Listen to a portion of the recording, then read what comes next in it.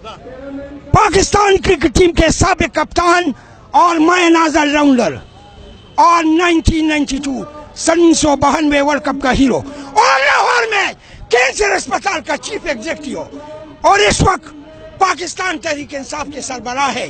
और चेयरमैन भी है। खैबर पुख्तूनख्वा का वज़ीर आज़म और सदर भी है। और चार महीने छह दिन, एक सौ छब्बीस दिन रिकॉर्ड साथ करने वाला